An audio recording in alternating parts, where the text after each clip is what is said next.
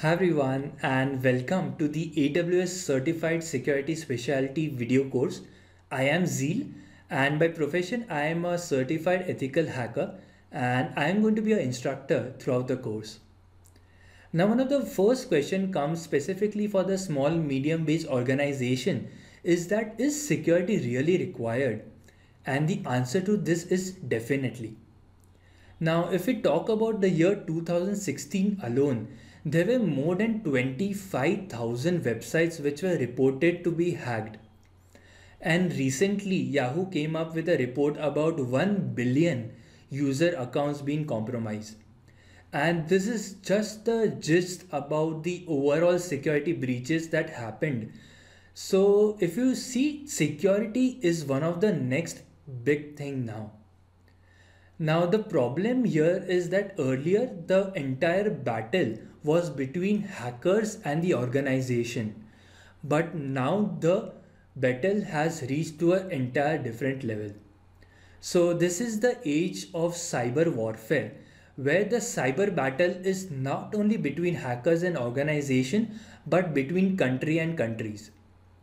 So generally nowadays each country are forming their own cyber armies.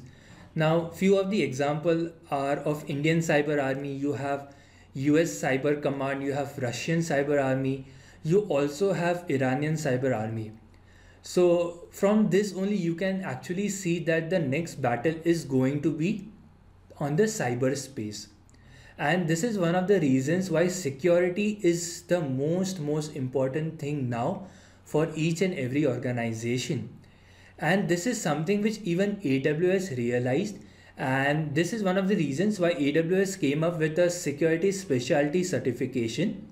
And this is one of the first security certification in the AWS panel and is intended for those who are working as a security specialist or for those who intend to protect their AWS cloud environment.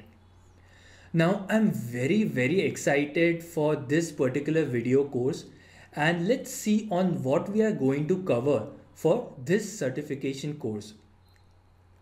So this slide is pretty much jammed packed. That means that we are going to have a very interesting course.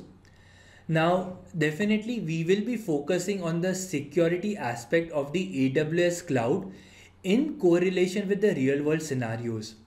So we'll look into real world scenarios into how really the website gets hacked and we'll also look into the mitigation techniques on what could they had been doing to protect themselves from getting hacked. So the first thing that we'll look into is the understanding of the security responsibility model and then we'll go ahead and set up our own lab. Now once the lab is been set up, we'll talk about the VPC and the networking part we'll look into how we can design a security network architecture as well as we'll look into various things like network ACLs, security groups, VPC flow log and much more in detail. Once we are done with this, we'll talk about the security logging and monitoring section where we'll talk about the security operations center and usage of various services like CloudWatch, CloudTrail, we have config in response to detection of various hacking attempts that happens within your AWS infrastructure. And the next is very important, which is the S3 masterclass, where we learn S3 in deep dive related to how we can use S3 in our overall security infrastructure. Now, definitely the security is incomplete without cryptography so we will be learning a lot about symmetric key and asymmetric key based algorithms. We'll be talking about hashing as well as various AWS services like key management service, cloud HSM, S3 encryption, EBS encryption.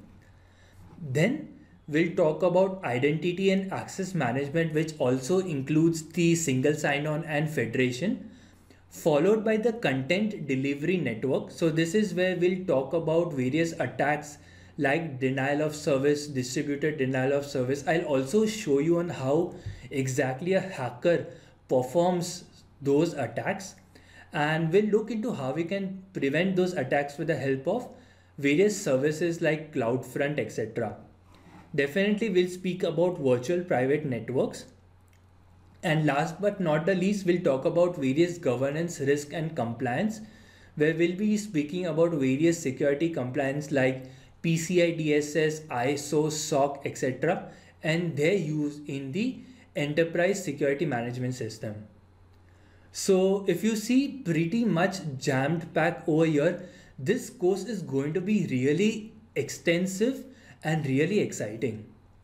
Now, one thing that I really like to tell you on how we go ahead with the course is that we will not just focus on passing the exam, the main focus is on knowledge.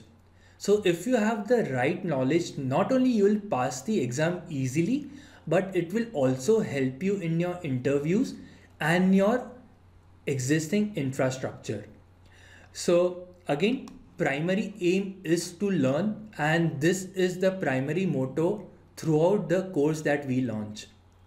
So if you talk about the simple example of security group, so generally people expect, okay, security group where the instructor will teach on what security group is and how to use it. But we follow the complete different way. So before we actually go ahead with the security group, we have lecture related to introduction of TCP IP based communication and firewall.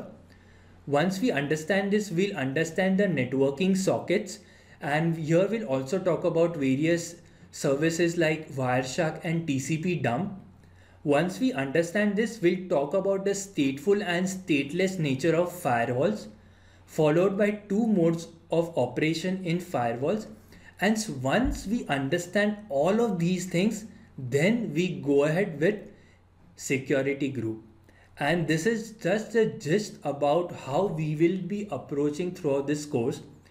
And I'm very much sure that if you follow the things that we have mentioned in this course, not only it will help you tremendously in your level of knowledge, but it will also help you prepare to a very good extent for this certification exams. So this is it about this lecture. I'm very much excited and if you have any questions, doubts, feel free to connect to us on social media like Twitter or mail us at instructors at the rate kplabs.in. So I hope you found this lecture informative and I'd like to see you aboard. Thanks for watching.